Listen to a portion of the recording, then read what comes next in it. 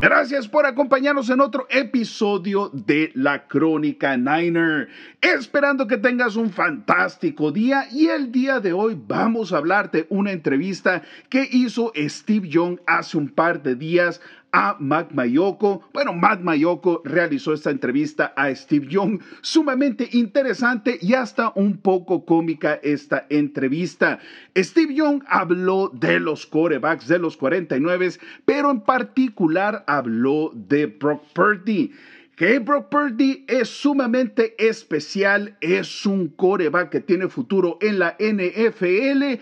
Obviamente eso lo sabemos, sin embargo todavía no entiendo por qué ponen a Brock Purdy como Darth Vader y no como Luke Skywalker. Bueno, tal vez esto no tenga sentido hasta ahorita, sin embargo, aquí te dejo la entrevista, después de esto todo va a tener sentido, te lo prometo, aquí está la entrevista de Steve Young. Unique human being named Brock Purdy. And I'm just not going to limit him. I'm not going to say, oh, he's not bigger, he's not as strong, he's not as fast. I'm just not going to limit him. I think he's just an incredibly unique human made for quarterbacking, and I'm just let him cook. I don't know else to say it. I don't want to ju- prejudge anything that he can or can't do. I think it's all possible with Brock. So I, if Brock is ready, game one, it's not going to be 100%. Anyone who says he can rip a, a pass six months later, just I don't think it, it, it belies reality. It doesn't mean he can't play 90%. So we'll see how that goes. But if he's ready, I'm sure they'll play him. Okay, so what what just jumped out at you when you watched him play at the end of last season? There's a uh, processing. Uh, I call it the Force. It's like a Star Wars analogy, you know, and uh, it's something you can't describe. It's just someone has the Force. And I think quarterbacking is so much that way. When I see somebody who has the force, I don't know how to tell you all the intricacies of what makes that, but you you can just tell. And so Brock had it so thick.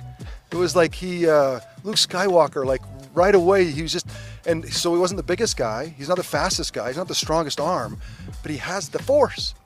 And maybe he's strong as anybody who's playing. So that what is what and then you talk about on top of the culture and the innovative offense and the play calling and the and the talent it all kind of comes together. So I, I that's why i don't want to limit what brock could be. Because it's easy to say the last person in the draft at his size arm strength and everything else there's there's limitations. Right. i think that'd be with talking about brock purdy i don't think you should speak that way. Bueno claramente podemos ver que eh, steve young hace la referencia de star wars. Brock Purdy tiene la fuerza, sin embargo en el video no sé por qué ponen a Brock Purdy como Darth Vader. Darth Vader es el malo. Bueno, indistintamente Brock Purdy tiene la fuerza y claramente lo dice Steve Young. La posición de coreback en la NFL es de procesar información.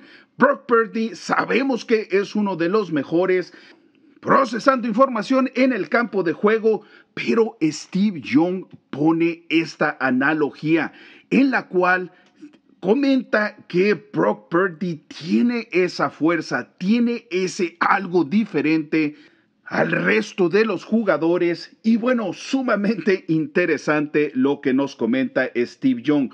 Otro punto en relación a esta entrevista, Steve Young habla de cómo Muchos podrían hacer menos a Brock Purdy debido a que no es el coreback más alto, a que no tiene el brazo más fuerte, que fue seleccionado con la última selección del draft. Sin embargo, si tiene ese algo especial, si tiene la fuerza, Brock Purdy va a ser un gran coreback en la NFL.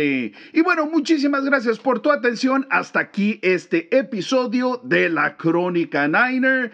No olvides de comentar, suscribirte, darnos un like y no te pierdas los próximos episodios de tu podcast de Red and Go All Niners.